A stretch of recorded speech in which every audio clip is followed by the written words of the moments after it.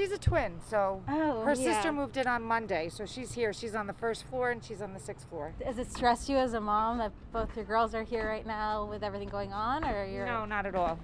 No, I'm perfectly fine with it. you're living alone? No, I have a roommate, but she's moving in on Saturday. The students who live on campus started coming back the 5th. Uh, classes start on the 25th. Triples and doubles, we have eliminated all of those types of rooms except for doubles where people have asked, and we've gone from 5,200 to a little over 3,000. Are these your only two daughters? Yeah, that's it. It's So one shot. They're gone. no, you had no hesitation to maybe do this online and not move into the dorm. No. No.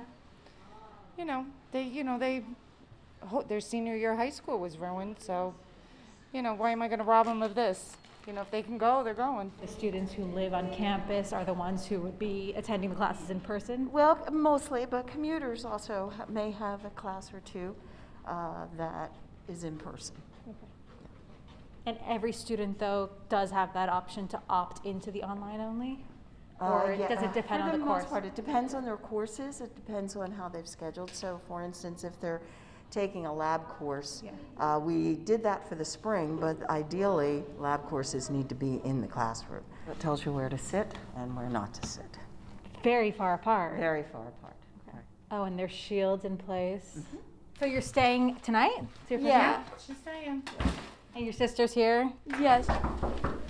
It's really Yeah. pretty. Yeah. We ended up doing the same thing. Wait, your mom really hooked you up. She brought you a lot of food. Oh yeah, the hot Cheetos. I love hot Cheetos, and I've been craving them. She's Yeah, having a great loves it. time. Yeah? Yeah. The food's good.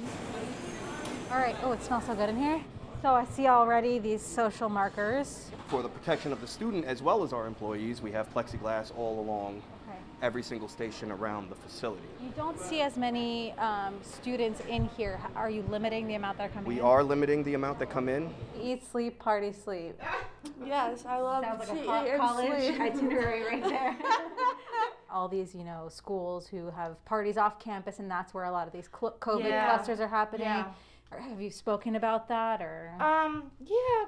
We are in a little different situation from many of the campuses that are having those parties. We don't have uh, apartments around Montclair. We don't have student housing where those kinds of things happen. We don't have fraternity and sorority houses. So we're hopeful. Were you worried that it might get shut down though when all this I is am going? still Yeah. worried about that. Yeah. That at some point they're just going to say, "Sorry, we have to Yeah. close everything." Yeah. Yeah because it could happen. It's, it's already happening, you know, in some schools. Unfortunately, uh, I think it would take something catastrophic. Just see what happens. Just wait and see.